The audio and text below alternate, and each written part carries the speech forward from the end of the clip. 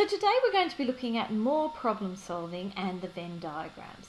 So now we're going to be looking at Venn diagrams and we're going to have three circles. So we've got a few more things going on. Now this example here that I'm looking at today is looking at those students that study mathematical studies, those that study German and those that study music. So some of you might like to actually have a go at doing this worksheet first and then to watch the video or just look at the lesson note solutions and some of you might like to just watch along. So let's have a look at how this goes. We want to see the number of IB students that are studying none of these subjects. So we don't want anyone in the circle, we just want something outside of the circle. So in this case it's 73. Now we need to look at mathematical studies someone studying mathematical studies, but they don't study German or music. So only people studying studies, they can't study anything else. So the answer to this has to be 22. Mathematical studies and music, so they have to study both mathematical studies and music. And from yesterday's lesson, we know that this and is meaning intersection. So studies and music is 3 but not German. So nothing else. So the answer to this is only 3. The next one we're going to be looking at music and German, but not mathematical studies. So music and German. So music and German, so that must be 6 because this is the only people, but not mathematical studies. So remember the word and again is at intersection. So the intersection is 6 and we don't want anything that has to do with anyone studying mathematical studies. So the next one is how many, well, how are the people who are studying German?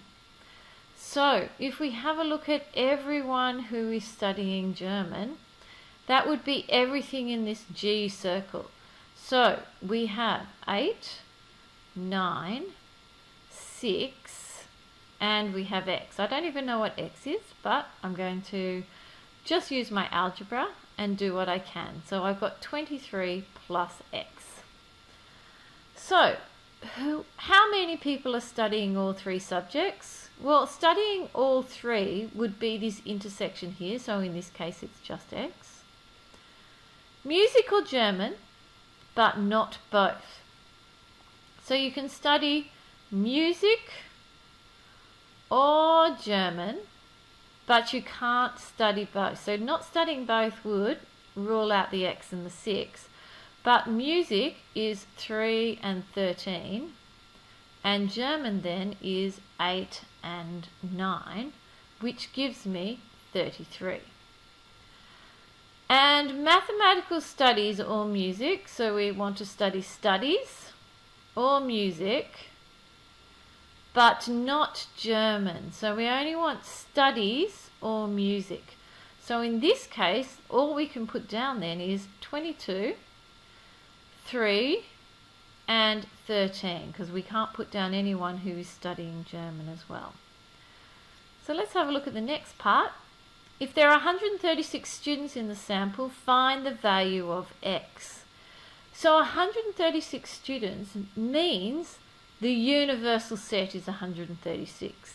So that means if I add everything up, x plus every other number, plus 8 plus 3 plus 22 plus 13, 6, 9 and 73 in any order you want, you have to get an answer of 136. Collecting my like terms, that means I get x plus 134 equals 136 and I get that x is 2 and that's how easy it is. Let's have a look at the last question and see how we all get on with it. So once again you might want to pause the video and have a go and then come back and watch it.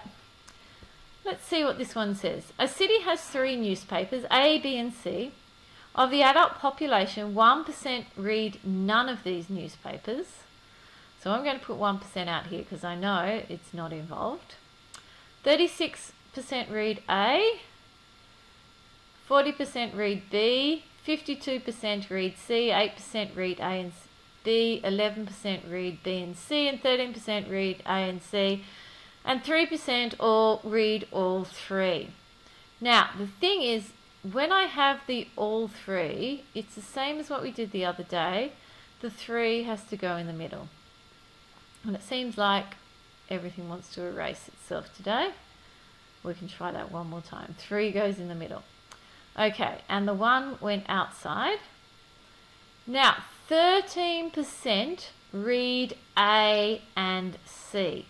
So A and C is read both of them, so that's the intersection. So this would be 13%, but I've got three that read all three, so 13 minus 3 gives me 10. So I'll put 10 in here. So this is this one done. 11% read B and C. So here's B and C. B and C is 11, so 11 take away 3 would be 8, would be in just this funny shape here. So I've done that one. 8% read A and B. So A and B is 8%. So this must be 5 because 5 and 3 would make 8%. That is the intersection of A and B. And I've got 52% read C. So here is C. So all together is 52. So if I do 52, take away 10, take away 3, take away 8, I get 31. So that's what's left here. 40% read B. So the whole of B has to be 40. So if I take away 5, 3 and 8, I get 24 that's left. And 36 read 8, so 36 take away 10, 3 and 5 gives me 18. Now that I've put all of that onto my Venn diagram, I can then answer the question. How many people read newspaper A only? Well, only A and nothing else is 18%. I might change colours. Uh, newspaper B or newspaper C? So they we want people who read B or C. So if I'm looking at B or C, what I'm really looking at is, if I think about it, everything altogether is 100%. I'm going to take away the 1% of people who don't read any newspaper. And I'm going to take away the 18%, which are the people that just read A. And that gives me everyone else that is left. Or I could have added all of these numbers up. I just think that this is an easier way of doing it. It's up to you. And we're also now looking at people who read newspaper A or B. So A or B, but not C. So we don't want anything to do with C. So what do I have left? I've got A or B and I've got the intersection of that which is 5 but I don't want anything that would be in C. So it's 8, 18, 5 and 24 which gives me 47%.